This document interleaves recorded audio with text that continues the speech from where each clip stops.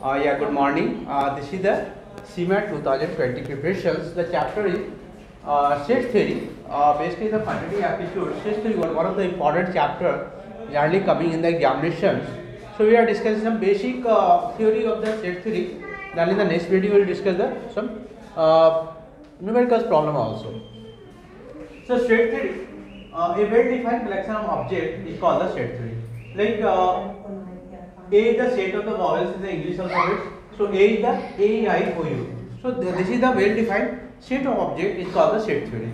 So uh, if you written the X is the member of A, this symbol is called the X is the member of A. So X is the element of A. We can say that. Now there are two methods to define the set theory. One is the roster method. We can second is the set builder method. In the roster method, make the list of objects of the set and put them within uh, big bracket. So like the uh, A is the set of vowels in the English alphabet, so we can write A, E, I, O, U. So this is uh, this is called the roster method. Second is the set builder method. So consists of listing of the pro property common to all the elements of the set. For example, suppose the A is the set of all the natural number less than 6. So A is the less than 6, so A is the from 1 to 6, 1 to uh, 1 to 5. So A is the uh, A equal to X. X is the member natural number, N is the natural number, and uh, X is the less than 6. This, this format is called the set, set builder form. Now, uh, singleton set is called a single set. Called singleton set. Suppose that X X uh, X plus 5 equal to 5. On that condition, x plus 5 equal to 5 this implies that x equal to 0 so if you are getting the 0 only one element is called singleton set empty set there no elements are there for example it's, it's called the 5 uh, this, this is a format where no element is inside there. We call the no element.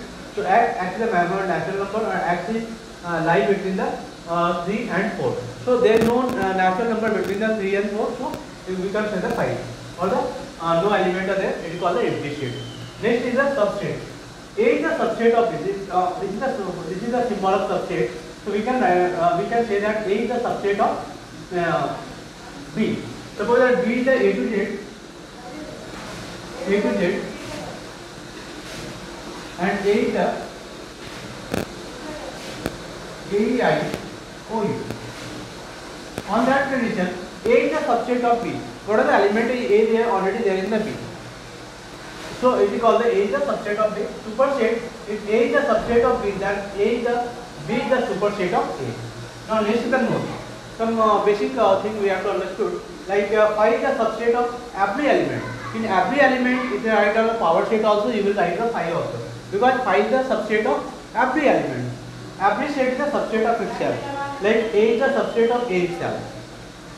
The number of all possible subsets in the set containing an element so number of all possible possible subsets of a set containing an element is 2 to power n and the number of all the proper subsets proper subset of a state containing an element is the 2 to power n minus 1.